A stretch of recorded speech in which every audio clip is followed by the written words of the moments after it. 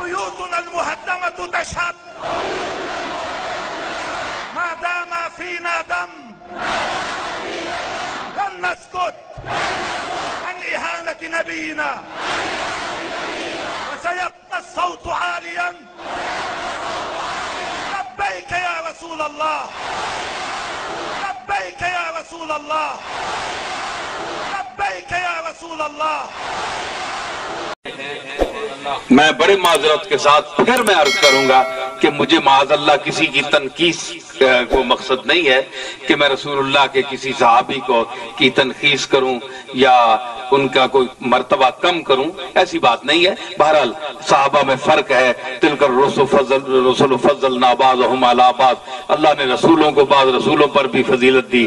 इसी तरह अगर रसूलों को फजीलत दे सकता है कि वो साहबा को फजीलत नहीं दी साहबा पर कई लोग जो है वो अफजल हैं। तो आ, अब ये जो है कि ये मेयार जो हमने रखा हुआ है हम ये नहीं कहते हम फैसला करने वाले कौन है कि कौन अफजल है? ये तो अल्लाह जानता है कौन अफजल है। अल्लाह के यहाँ कौन अफजल है, ये तो अल्लाह जानता है। लेकिन हमारे पास ऐसे लोग जो इस पर जिद करते हैं तो एक शख्स ने इसी तरह जिद की कि नहीं जनाब, पहला जो है वो अव्वल है, वो अफजल है, और जो तरतीब के मुताबिक है। मैंने कहा, फिर रिसालत की तरतीब को जरा देखो। कि फिर जो जिसको तुम अफजल समझते हो उसको तो पहले होना चाहिए। क्या रसूलुल्लाह महाजल्ला आखिर में आकर महाजल्ला सबसे कम है? अफजल है। तो फिर यूँ तुम कहो कि फिर जो आखिर में खिलाफत में आखिर में आया उसका फिर मकाम खुद मुतयन करो वो क्या है? देखो ना अगर मंतिक है तो मंतिक से बात करो। तो मतलब है कि हमें ये फैसला नहीं करना चाहिए। ये तो अवाम फैसला करेगी, काम देखकर, मकाम देख। आजकल की सुन्नीयत जो है, वो भी बड़ी मखदूश हो चुकी है। हमारे जो अहल बैत के जो मानने वाले सुन्नी हजरात थे, पहले मैं अपने दादा परदादा की बात सौ साल, पचास साल पहले की कर रहा हूँ। उसमें मोहब्बत अहल बैत से वो सरशार थे। समझ आई? साहबा का अदब भी हमारे सना खुपर है उनका भी हम करते हैं। लेकिन जो गालिब चीज़ थी वो मोहब्बत अल बैत थी। ठीक है?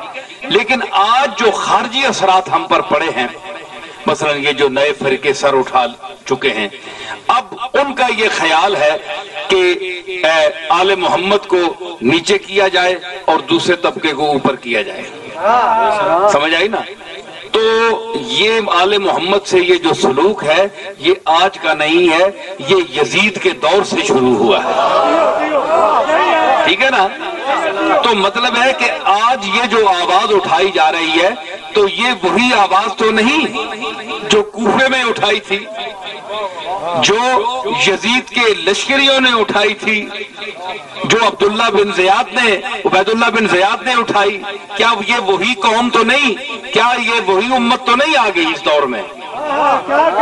कि आज हुसैन के नाम के साथ वही सलूक कर रही है, हुसैन के साथ जिन्होंने जान दी, अपनी निसार किया सब कुछ, आज उनके साथ वही अलकाब और वही छोटे छोटे पंफलेट छावे छाए करके हुसैन की अजमत को गिराने की कोशिश कर रही है।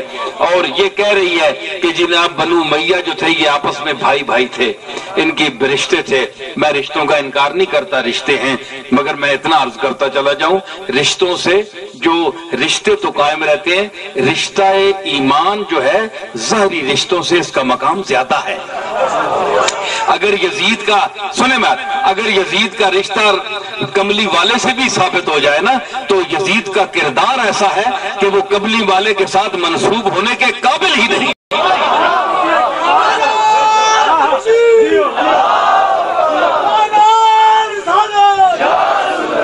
ये जो मैं बातें कर रहा हूँ, ये मैं अली की माज अंधी मोहब्बत में नहीं कर रहा, अहले बैत की माज अंधी मोहब्बत में नहीं कर रहा, मैं बड़े सोच समझ कर बोल रहा हूँ। मैं सोच समझ कर बोल रहा हूँ। अली को मानो, समझ कर मानो। समझ कर मानोगे तो फिर